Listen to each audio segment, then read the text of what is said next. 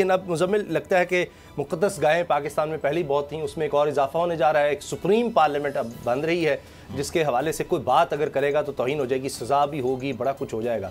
तो इससे हमारे मसाइल हल हो जाएँगे। नहीं, या तो कंटेम्प्ट के सारे लॉज जो है वो रिवोक होते अदरवाइज़ पार्लियामान ने भी शायद फैसला कर लिया कि अगर बाकी सब मुकदस हैं तो हम भी हो जाएँगे। ओवरऑल जो सिचुएशन है उसमें कन्फ्रंटेशन ही नज़र आ रही है। जिस तरह से जो पार्लियामान की कार्रवाई के मिनट्स तलब किए गए आज और उससे इनकार कर दिया रजिस्ट्रार को प्रोवाइड करने से वो सीधा सीधा जो है वो कहना चाहिए कि एक सिविल नाफरमानी के ज़ुमरे में ही आता है कि कोर्ट की डायरेक्शन को नहीं मानना। तो ओवरऑल सिचुएशन यही है कि मुझे तो यही नज़र आ रहा है जिस तरह से एहसन इकबाल साहब की मैं गुफ्तु सुन रहा था। और ख्वाजा आसिफ भी? बिल्कुल ख्वाजा आसिफ साहब भी। तो उन्होंने ये कहा कि हो सकता है कि पस पर्दा इमरान खान साहब ने गारंटी कर दिया है चीफ जस्टिस साहब को कि एक्सटेंशन दे देंगे आपको। इसीलिए इतना ज़ोर लगा रहे हैं शायद। तो वो तो खुलकर ये इल्ज़ाम लगा रहे हैं कि ये कोई डील चल रही है, ये हम होने नहीं देंगे। मुजाकरात के हवाले से जावेद लतीफ़ साहब भी ये कह चुके हैं कि अगर आपने ज़बरदस्ती बिठा के मुजाकरात करवाने हैं तो उसका कोई फ़ायदा नहीं होगा। अगर पार्लियामान को डिमोलिश करना है, कोर्ट्स के अंदर फैसले करने हैं, कोई फ़ायदा नहीं होगा। तो ऑब्वियसली नून लीग के अंदर भी हमें दो मुख्तलिफ़ आवाज़ें दिखाई दे रही हैं। और आज जो चीफ जस्टिस साहब का जो स्टेटमेंट है, अगर उसको देखा जाए तो उसमें फ्रस्ट्रेशन भी दिखाई दे रही है इस चीज़ को लेकर के वो कह रहे हैं कि सियासी लोग चाहते हैं कि मनपसंद फ़ैसले उनको मिल जाएँ। लेकिन उनके लिए बड़ा चैलेंज जो है वो विद इन द कोर्ट है। वो कोर्ट से बाहर शायद नहीं है। उसकी वजह यह है कि जो इशाइया उन्होंने दिया है उसमें सबसे सीनियर जज जस्टिस काजी फायज मौजूद नहीं थे। जबकि उसका मकसद और इंटेंशन ये था कि आपस में जो इख्तलाफात हैं उसको ख़त्म किया जाए।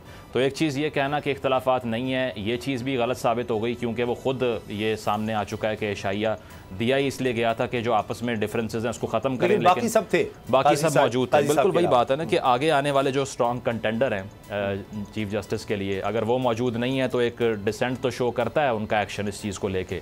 तो देखा जाए तो एक तो कोर्ट के अंदर चैलेंज है बहुत बड़ा कि उसको कैसे मैनेज करें और उसमें जो division within the court है और दूसरा ये पार्लियामान की कन्फ्रेंटेशन है तो इंस्टीट्यूशनल जो है वो लड़ाई है और इसमें जहाँ तक मुजाकरात की बात है तो उसको नून लीग के अपने मेम्बरान कह चुके हैं, कोई फ़ायदा नहीं है।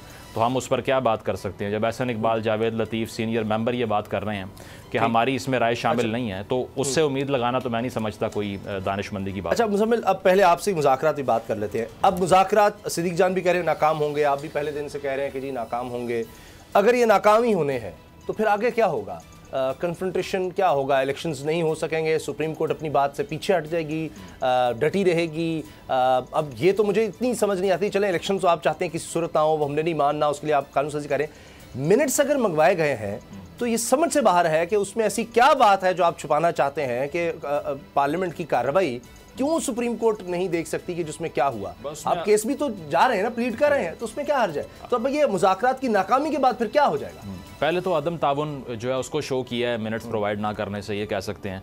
मुजाकर की नाकामी पर इमरान खान साहब ने जो गुफ्तु की है अपनी रैली के अंदर, उन्होंने तो यही कहा कि हमें फिर सुप्रीम कोर्ट से उम्मीद है, हम वहाँ जाएँगे। और इसको नून लीग ख्वाजा आसिफ साहब बिलखसूस ऐसे ले रहे हैं कि अगर हमारी बात, इमरान खान साहब का कहना यह है कि मेरी बात नहीं मानी, बाद में किसी और का रास्ता मैंने नहीं मानना। या मेरा जो है ना, वो कहते हैं ना माई वे और हाई तो वो टर्म वो इस्तेमाल कर रहे हैं। तो इसमें यह है कि सुप्रीम कोर्ट से ही उम्मीद होगी, तरीके इंसाफ को भी। और इसके अलावा यही उम्मीद होगी कि कंटेम्प्ट की कार्रवाइयों का आज़ हो इसके अलावा के अलावा कटहरे में खड़ा किया जाए तमाम इलेक्शन कमीशन के लोगों को और लोगों को जिन्होंने नॉन कॉपरेशन की है। इसके अलावा तो कोई रास्ता नहीं है ना क्योंकि आप ज़बरदस्ती तो नहीं एग्जीक्यूटिव बॉडीज़ को मूव करवा सकते। आप कंटेम्प्ट कर सकते हैं उससे भी हालात मज़ीद ख़राब होंगे डिसक्वालिफिकेशन होंगी मज़ीद लोग आके उसको रिप्लेस करेंगे। साथ साथ जो है वो पोलिटिकल प्रिजनर अभी बनाए जा रहे हैं। परवेज़ लाई साहब के खिलाफ जो कार्रवाई है उनको देख लीजिए। उस्मान बुजदार साहब को पकड़ने के लिए पंजाब यूनिवर्सिटी के अंदर जो है ना पुलिस छापे मार रही है। गिरफ़्तार हो गए गिरफ़्तार हो गए हैं। तो हाँ। ये नज़र यही आता है कि मुजाकरात एक तरफ़ चल रहे हैं, लेकिन साथ साथ ये भी चल रहा है। तो इसमें पता यही चलता है कि एक तो नाकामी होगी मुजाकरात की और दूसरा ये कि हालात सुप्रीम कोर्ट को इतना इख्तियार नहीं दिया जाएगा कि वो कंट्रोल कर ले हालात को ओवरऑल हवाए नफ्स की है हुक्मरानी, लुटेरा कर रहा है पास पानी बोल न्यूज़ के मार्केटिंग हेड आकाश राम ताहा लापता। तफ्तीशी इदारे जवाब देने से कासिर।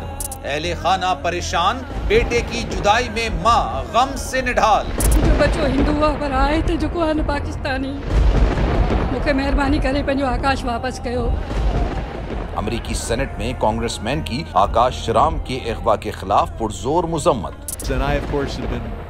Concerned about uh, some of the terrible disappearances, some of the abuses of human rights in Pakistan. United nation ने भी आकाश राम की बाजियाबी के लिए मौसर इकदाम उठाने का इंदिया दे दिया। मुश्किल की इस घड़ी में आर्मी मीडिया समेत इंडियन मीडिया भी चीख चीख कर आकाश राम की बाजियाबी के लिए आवाज़ उठा रहा है।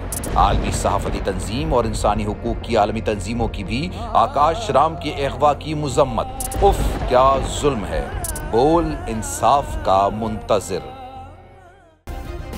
सब्सक्राइब करें और बेल दबाएँ ताकि कोई खबर रह न जाए।